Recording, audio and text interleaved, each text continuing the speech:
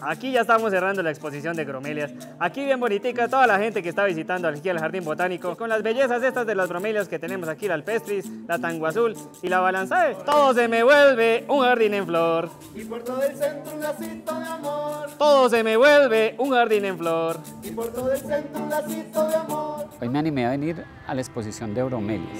No es solo para las personas que tienen plantas en su casa, para las mujeres, es para toda la familia. Es una exhibición espectacular.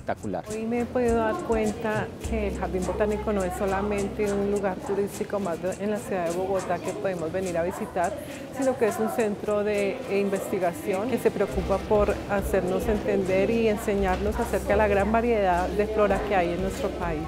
Yo tenía una plantica de estas en la casa, pero no tenía ni idea cómo se llamaba. Y ahora que estamos aquí me entero de que se llama bromelia. La conocemos como piscinita porque retiene mucha agua. Esa piscinita se forman los zancuditos. También la arañita en sus hojas hace su nido. Por último vienen los pajaritos a beber de esa agua. Entonces podemos decir que la bromelia es un oasis para los animalitos. Agradecer a nuestro alcalde Enrique Peñalosa y a todo su equipo por traer todas estas cosas y enseñarnos cada día más a la ciudad de Bogotá. Alcaldía de Bogotá